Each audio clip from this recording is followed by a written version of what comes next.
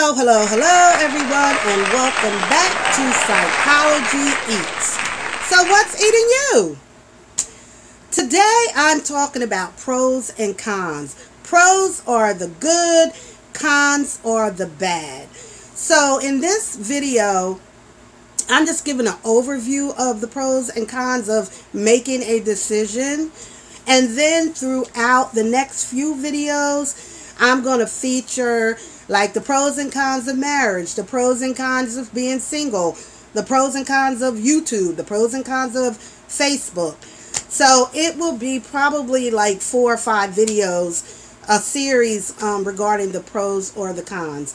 But I wanted to set it up um, in saying that pros and cons, it's a good technique to use when you need to make a big decision.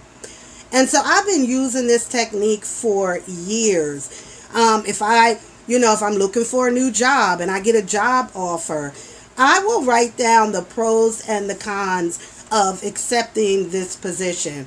How far is it? Well, it's further than the other place where I worked, or the office space looks, ugh, um, too many people, whatever. Whatever may be a con to me may be a pro to you. But I think it's important that you know what you want to accept and what you're not going to accept before making a big decision. We may use the pros and the cons in seeking out a relationship. I want a partner who's really tall. That's a pro. A con is I don't want a really short partner. A pro, I need a partner that makes $80,000 a year.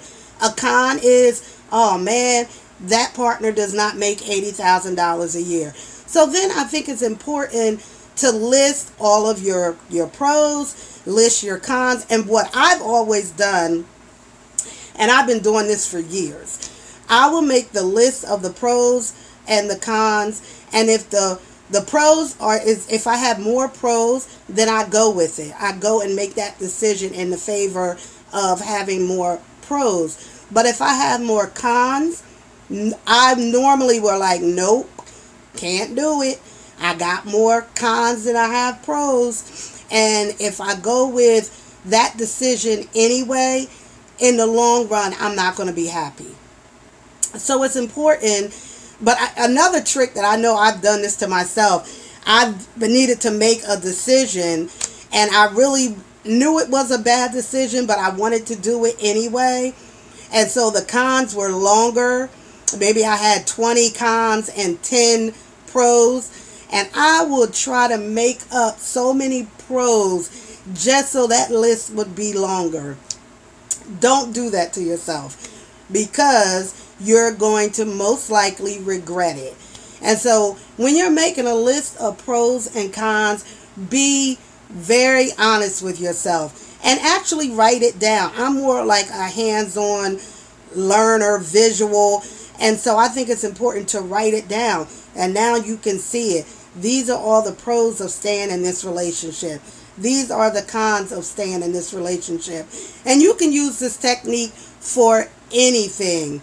Buying a house, not buying a house, um, moving out of your parents' house, staying in your parents' house, and making a really succinct list that you can really look at and say, you know what, it's probably better if I don't make this decision, or maybe it's better for me if I do make this decision.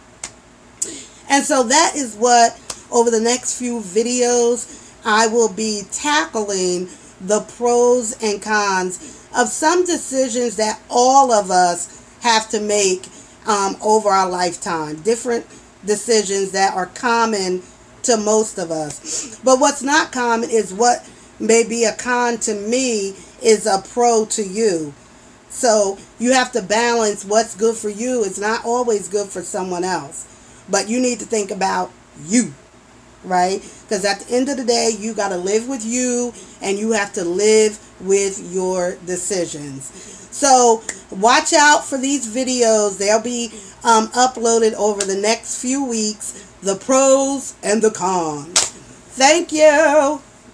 Don't forget to like, subscribe, and share this video.